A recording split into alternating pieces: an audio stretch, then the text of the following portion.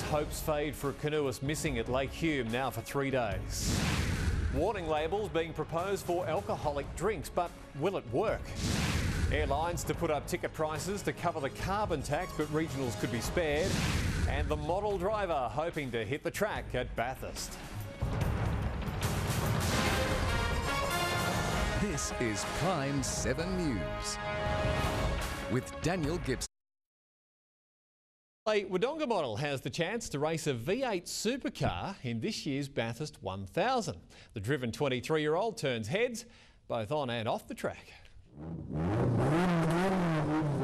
She's grabbing everyone's attention. Whether it's looking stunning for the camera or gunning it down the raceway, Hayley Swanson has life in full throttle. I do promotional work for Monster Energy and just basically just freelance modelling as well, which is a lot of fun.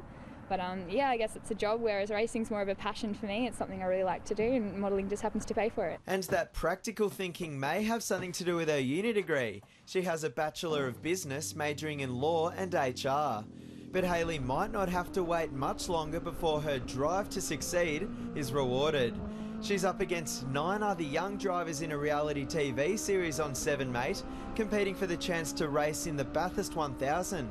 The winner will team up with Prime 7's Grant Denyer and they'll drive for Kelly Racing at the meet in October. Yeah, it's a fantastic opportunity. I mean, no one's really ever offered this to you know such young competitors, and it's really hard to get into the sport. It's really expensive, and um, breaks like this don't come around very often, so the chance to race at Bathurst would be absolutely amazing experience. Hayley's already gaining valuable experience behind the wheel at some of Australia's best raceways, driving in the Hooters Restaurants Aussie racing car in the seven round Super Series, which is a support event for the V8 supercars. Swanson's currently ranked 23rd out of 50 contestants, and there's only a couple of girls competing. I hope it's definitely getting more females into the sport, and yeah, it's I know we, we can do it just as well as the boys can, and I've you know demonstrated that in racing. Shannon Supercar Showdown will premiere on 7 Mate on July 23.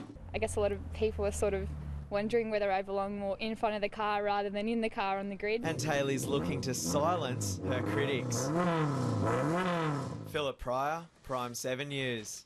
Good on you, Hayley. We wish you the best of luck on those Aussie racing cars she's been having a go in are sensational. Had a black in one myself at Oran Park. They're amazing things. We'll find out what's happening with the weather. It's right after the break with Madeline Collignon. It's been cold. Will it continue to be? Find out after this.